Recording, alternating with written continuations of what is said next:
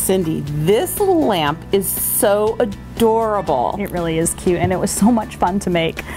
And where'd you get the little lampshade? Isn't it the perfect size for this little trailer die It's cut? so cute. It's actually one of my new favorite products. Etchall makes these lighten Etchall? up lighten up LED light kits they're called and you can make a lamp out of anything. It is really, really cute. and I can't wait to see how you put it together for us. Let's get on the road.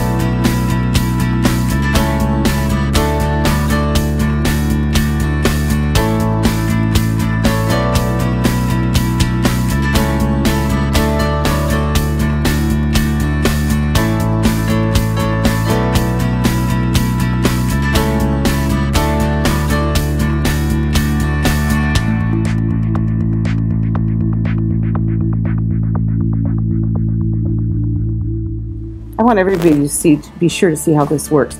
These little LED lights go on, and then we're going to put it on there.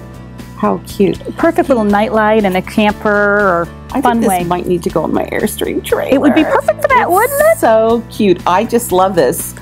I am so glad that you did this project for us It was a lot of fun.